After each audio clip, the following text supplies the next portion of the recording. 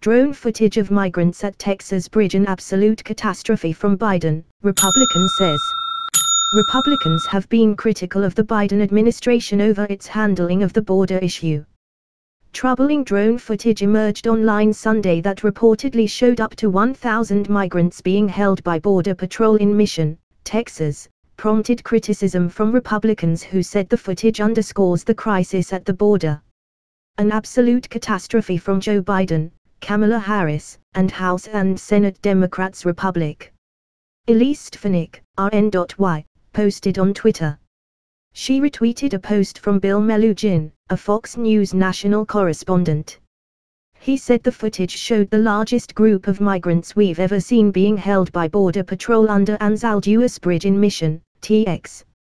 Looks like it could be up to 1,000 people he posted. We can only get a look at the area with our drone. There's a popular Rio Grande crossing area nearby. Border Patrol did not immediately respond to an after-hours email from Fox News seeking comment about the video.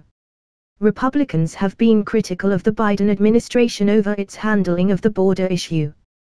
They say the president should be more assertive in getting the problem under control given that there is a global pandemic.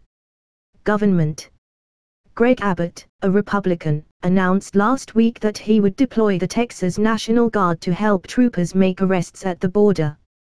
To respond to this disaster and secure the rule of law at our southern border, more manpower is needed Abbott wrote in a letter to Major General Tracy R. Norris, Adjutant General of the Texas National Guard.